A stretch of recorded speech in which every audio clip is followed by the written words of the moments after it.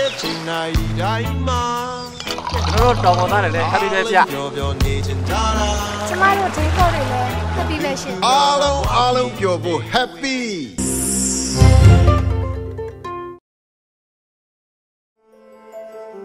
Walt Disney Company ဟာပြီးခဲ့တဲ့ကြာသပတေးနေ့တုန်းကရှန်ဟိုင်းမှာရှိနေတဲ့ Disney Resort မှာတရုတ်ကုမ္ပဏီတစ်ခုနဲ့အတူတူပူးပေါင်းပြီး US ဒေါ်လာ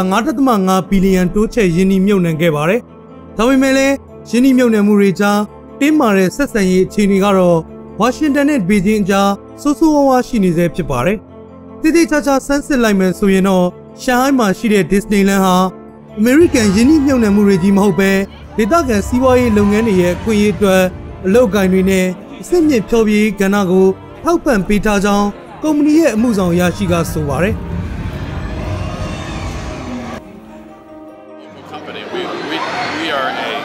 design, we develop stories, but then we work ကျွန်တော်တို့ဒေတာခန်ကုမ္ပဏီတွေနဲ့လှုပ်ဆောင်မှာပါကျွန်တော်တို့ဇလန်တွေအတွက်ဒီဇိုင်းဆွဲထားတာဖြစ်ပေမဲ့တရုတ်ကထူးချွန်ပါရမီရှိတဲ့သူတွေနဲ့ပူးပေါင်းလှုပ်ဆောင်မှာဖြစ်ပါတယ်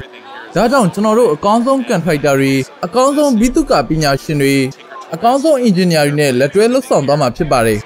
ဒါကြောင့်ကျွန်တော်တို့ဟာတကယ်ဒေတာခန်တွေလို့ခံစားနေရတာပါ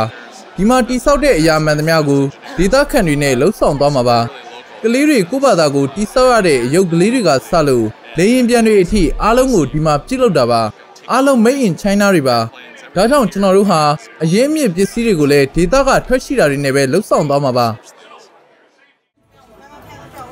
Disney ကတော့ရှန်ဟိုင်းကစားကွင်းမှာပုံမှန်ပြုလုပ်လေ့မရှိတဲ့ပူးပေါင်းမှုတွေနဲ့ချင်းကပ်ခဲ့တာဖြစ်ပါတယ်။ဒီဥယျာဉ်ကို2016ခုနှစ်ကစတင်ဖွင့်လှစ်ခဲ့တာဖြစ်ပြီး58ရာခိုင်နှုန်း share တွေကို ရှန်ဟိုင်းရှန်ဒီအဖွဲ့ရဲ့ပိုင်ဆိုင်မှုအဖြစ်လွှဲပြောင်းပေးခဲ့ရတာလည်းဖြစ်ပါတယ်။ဒီဘက်ကလာရောက်လုပ်ကိုင်တဲ့စီးပွားရေးလုပ်ငန်းတွေဟာတရုတ်နိုင်ငံရဲ့နိုင်ငံရေးမူဝါဒတွေကိုတိတိတတ်တာပဲတီးခံရလေရှိပါတယ်။ပြီးခဲ့တဲ့နိုင်ငံရေးရေချိန်မြင့်မားနေတဲ့ကာလတုန်းက